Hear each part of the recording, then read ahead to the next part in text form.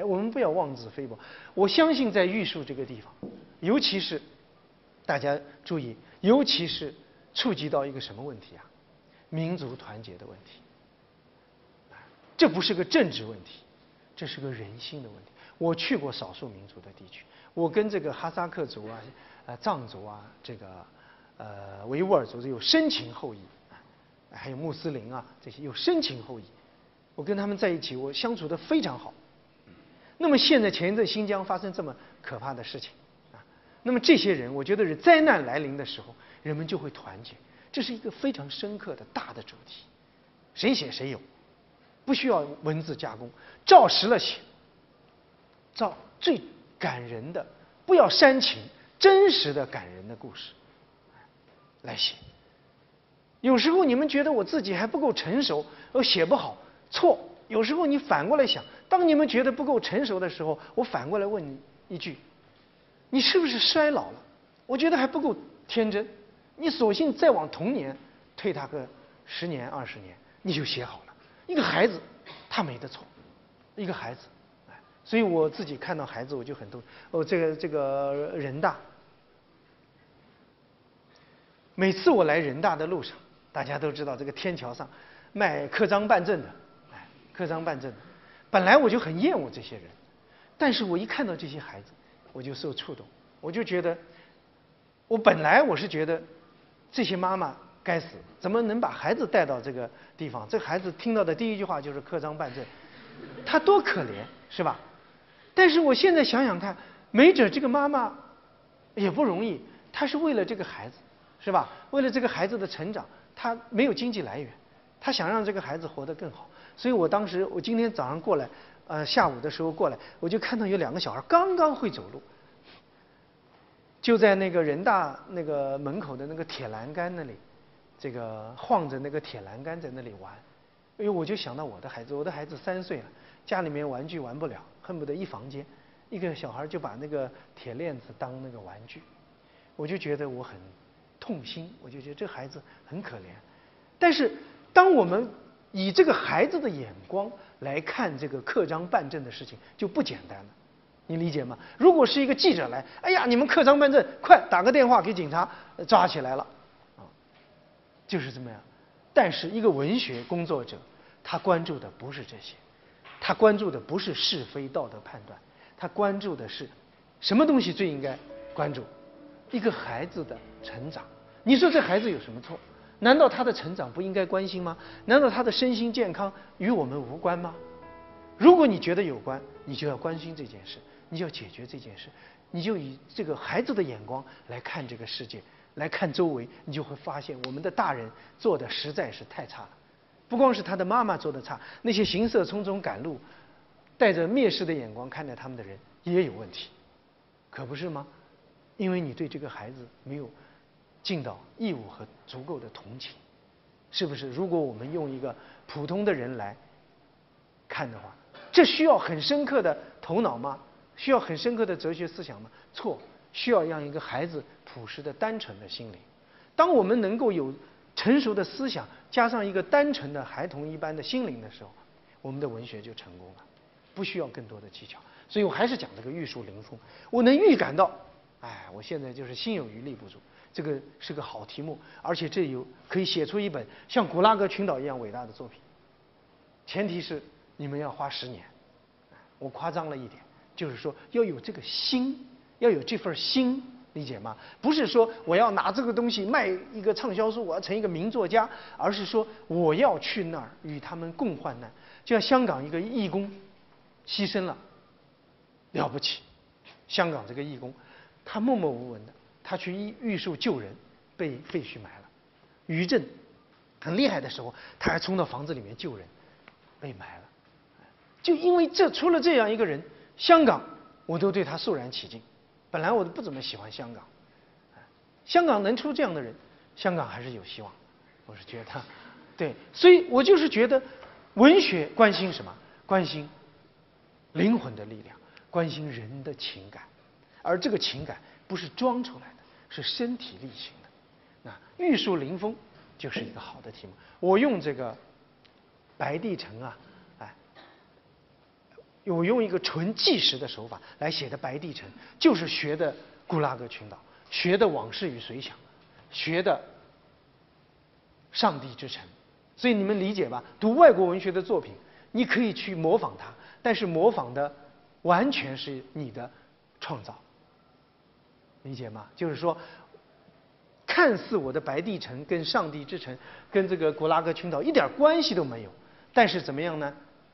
他们在精神上传神给我，我学到了他们的根本的思维。也就是说，当一件事情成为一个像刚才我讲的那两个故事啊那样的级别的时候，至于它是纪实还是虚构，已经不重要了。重要的是，它是不是震撼人心？县城就有这样一个故事，你还虚构什么呀？不用虚构了。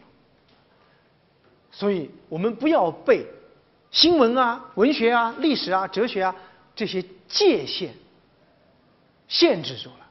哎，我要写新闻，我就不要文学；我要文学，不要新闻。迷时三界有，悟后十方空。我们觉悟了以后，没有什么界限，就是一。哎，我们就做一件事，抱着一颗心，直奔主题，就是爱，这么简单。可是呢，正因为你本着这个一。你到处都能发现很多细节，发现那些人的表情，那个眼神，无论你去做摄影还是做文字作品，所以我特别震惊的一件事情，可能大家嗯没有怎么说，我说这个社会没有意识到，就是说我们守着金山银山。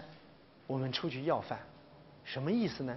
从文学上来讲，我们祖国大地有太多太深刻的好的文学题材，没有人去做。这文学家一个个都觉得写什么好呢？好像都写完了。啊，写写民国的时候，我最看不上那个红粉的作者，写点什么啊，当时妓女改造啊，什么乱七八糟的事，没什么意思啊。你也没写出一个新意来，你到底想干嘛？写一点一些腐朽的东西，坐在家里写，哎，这个书卖的还很好。现在的人都怎么了？那么现实当中，你像玉树临风，没有人写；汶川谁还去关心灾后？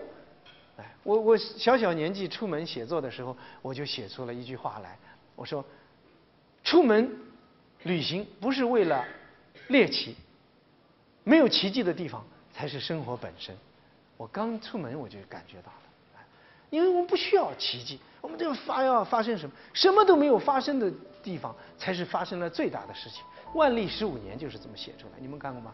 一本书叫《万历十五年》，万历十五年是黄仁宇写的，那个年间没有发生任何事情，哎，他就把那一年的人情世故写了一下，人们对历史有个重新的认识，就好像汶川这个事情都过去了。热点变成冰点了，谁还在与那些苦难的人共命运？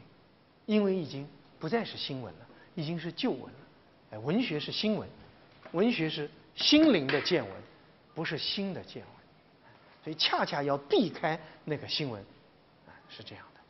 这个就像这个，我举一个例子来讲，新闻跟我说的新闻的区别。我在白帝城当中有一个章节。就是白帝城下面有个奉节古镇啊，就是这个两千三百多年历史的奉节古镇。那一年，最后一栋楼要爆破，还有瞿塘峡，瞿塘峡这个石壁要铲掉，全国各地的记者都去，他们有先进的设备，有车有船，啊，我想跟他们搭船，那个记者也不守信用。我跟他套了半天近乎，他最后也没让我去搭船，我也没看到那个现场。我后来一想，我为什么要看那个现场？我就不去了。我说你们都走，我一个人在一个空城里面，就大家都去扛着摄像机去看那个石壁的切割，去看那个最后一栋大楼的爆破。我就坐在这个广场上，哎，吃一碗面，跟这个小贩聊天。好，这个时候奇迹发生了，下岗工人出来游行了。下岗工人就觉得。记者来了，我们平常这么多不满，无处发泄，结果怎么样呢？记者全跑了，就我一个人，就我一个人，所以我就得到了很多材料。得到了很多材料。结果那些人也是，我到外面老给警察抓。你是干什么的？啊，你有证件吗？我说你有证件吗？他说你到这儿来为什么不跟我们报道？我说你到北京也没跟我报道。话虽这么说，我说完了就跑，我哪里是他们的对手？我说我能依靠的只有人民群众，我又没有背景，我又没有动机，我又没有人抓进去，又没有人来捞我，我就说完了就跑。这个很惨，很惨，但是。我就告诉大家，我跑，我不是逃兵，我已经得到了真相，我已经看到了真实的情况，我把它记录下来，理解吗？哎，所以我就觉得文学上有那么丰富的题材，为什么不去做？大家想想看，两千三百年的古镇，一百多万人的家，好多好多这样的古镇被江水淹没了，而且是好多年，江水涨了好多年，一点一点涨起来的。没有人去关心。我走到哪里，老乡就跟我说一句话。我在各地方听到同一句话，说我们一直以来想找你这样一个人，从来都没碰到过。我是什么人？我是一个普通的中国人呀，我也没有什么别的，我就有一颗红心，啊，没别的，就去呗。但是没有人做这些，记者去了就走，而且一去，那个当地政府就车来接，那些警察也跟我讲，那些。当官的也跟我讲，你跟我们打一声招呼嘛，还用得着你住这儿吗？吃饭都是免费的，住宾馆，我们坐派车随便的。我说我要住你的宾馆，派你的车，我到这儿来啊，我在别的地方去不好吗？我不是这样的人，我不被他们收买。不要说是宾馆车，千金万银也买不了我 革命的决心。我不会，我不会被收买的，任何情况下不会被收买的。如果你们哪一天听到王一培被收买了，那是谣传。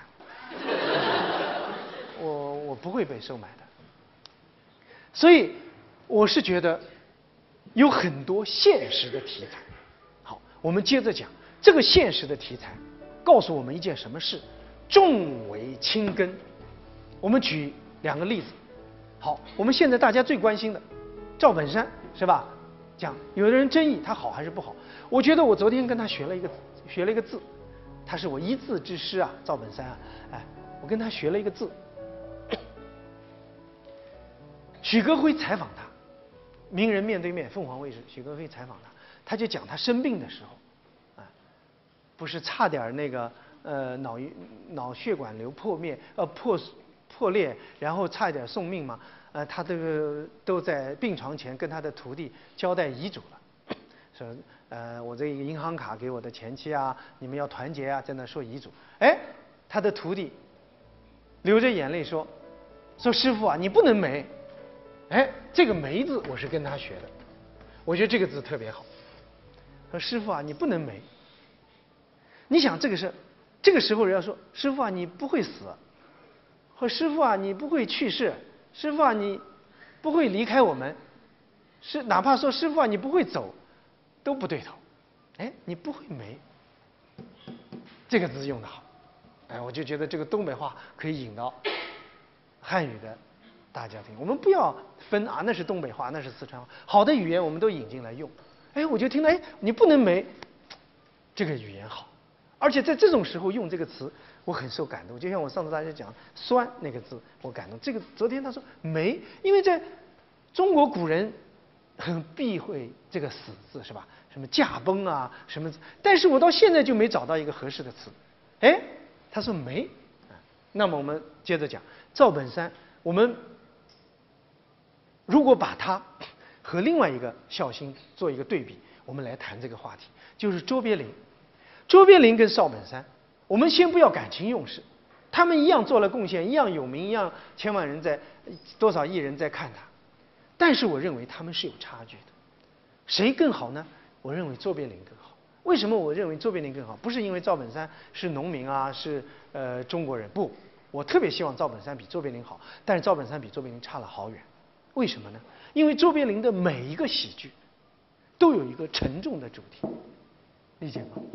沉重的主题，严肃的主题，所以他可以乱搞笑。搞笑的前提是什么？有一个严肃的、沉重的主题作为根基，赵本山就没有。不严肃，你理解吗？他这个根啊，当你一个根飘的时候，小沈阳也是。